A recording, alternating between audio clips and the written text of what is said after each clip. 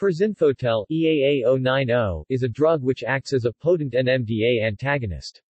It has neuroprotective effects and has been investigated for the treatment of stroke, but lacks analgesic effects. Nevertheless, it shows a good safety profile compared to older drugs. Although further development of this drug has been discontinued, prodrugs were developed since the oral bioavailability of perzinfotel is only around 3 to 5 percent.